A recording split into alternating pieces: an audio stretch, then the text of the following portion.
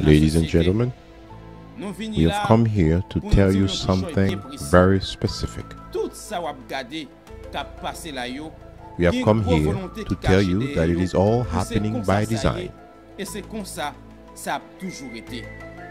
All this, ladies and gentlemen, is the work of an unholy alliance between some very powerful minorities, wealthy families, and multinational corporations with special interests on both sides of the island. It is the work between wealthy Dominican producers and the wealthy Haitians who are importing the goods. Thanks to this strategic alliance, Dominicans are now producing more than 60% of everything Haitians consume, and this ratio is bound to increase.